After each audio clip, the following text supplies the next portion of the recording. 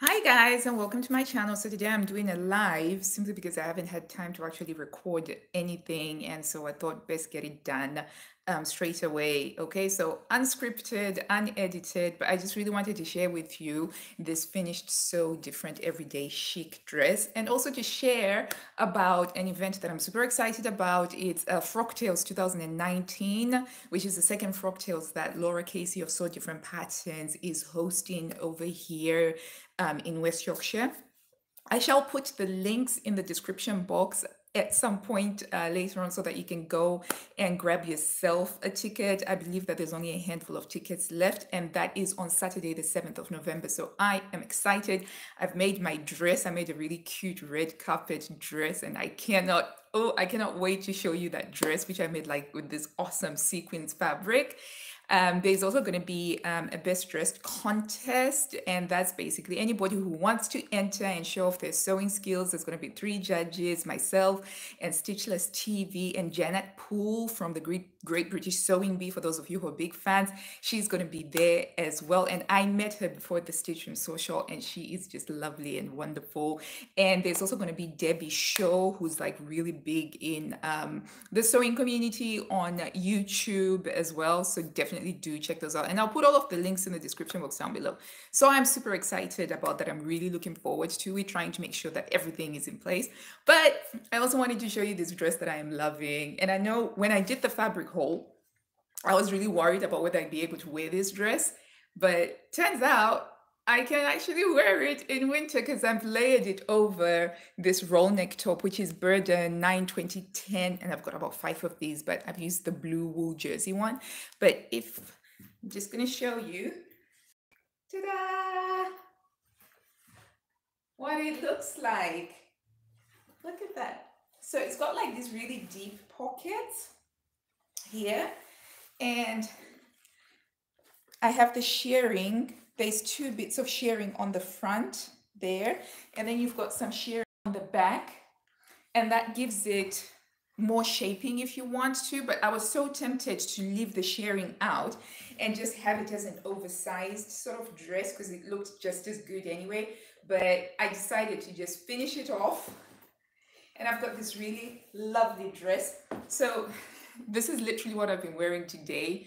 Um, I have to pick up the kids in about half an hour, which is why I'm doing this video now because the, the rest of my day is stacked. But this is what I've been wearing. I've been wearing it layered like that and with some leggings and winter boots. now, obviously, because I'm recording live, I can't actually do that thing that I usually do where I take it off and turn it inside out. But here is one I made earlier so I can show you what it looks like on the inside. So it's got the facing. So the difference is with this one, I didn't do the slash neckline, which I did here. And this is just simply doing a line down just like that. Okay.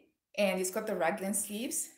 And then you have here, that's the shirring at the back.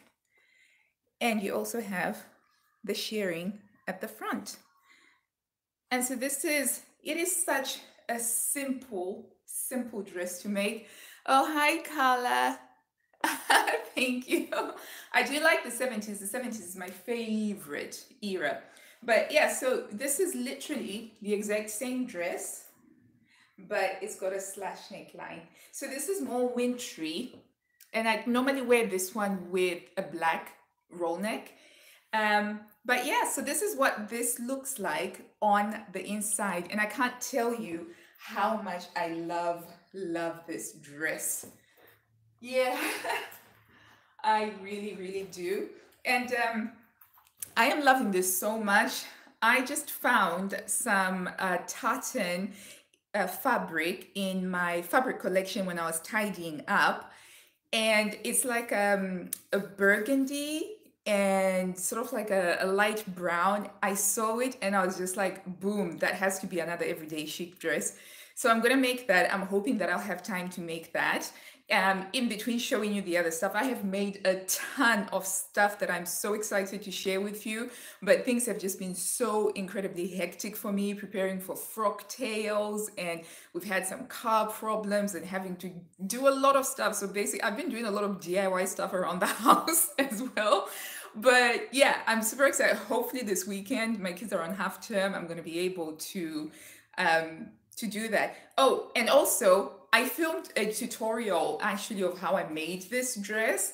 I'm hoping to edit that this weekend and I'll be able to share it. But I just wanted to check in because you know time has been so sparse for me. Um, and I miss I miss doing YouTube channel uh, YouTube videos because I love doing that so much. And I just wanted to show you this outfit that I'm wearing today. Okay, so the pattern is uh, Sew Different everyday chic dress. I'm to put the details in the description box um, down below but i love i love this style so much. It doesn't have any zips or buttons so it is super fast to make. Okay so i'm gonna sign off now guys because i have to go pick up my kids and we've got play dates and stuff like that. And thank you so much. If you've tuned in um, remember to like and subscribe for new sewing related videos every week or so. I will be back very soon with my Burda Browse Through. I just received my Burda November issue and I've got some thoughts about that. Okay, so until I see you guys next time with my two chic dresses, bye. Now, how do I stop this? Live stream Guys, this is crazy. I don't remember how to stop this. I think I just pressed the X button. Okay, bye.